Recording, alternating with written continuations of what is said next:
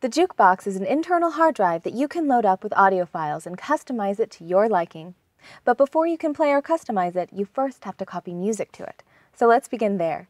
Now, it's important to note that you can only copy music files from MP3 CDs and select devices connected through the USB port, and the music files you copy need to be in MP3 or WMA format.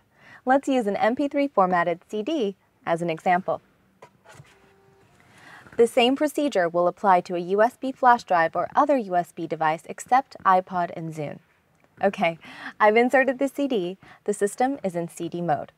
Let's say I'm listening to a song and I want to copy it to the jukebox.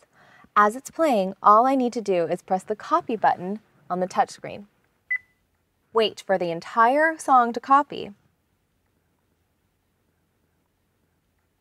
As you can see, it's now stored in the jukebox.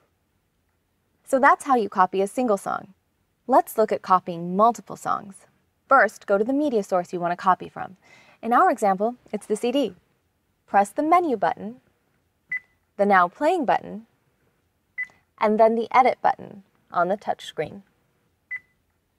The system will display a current playlist of songs your media device contains.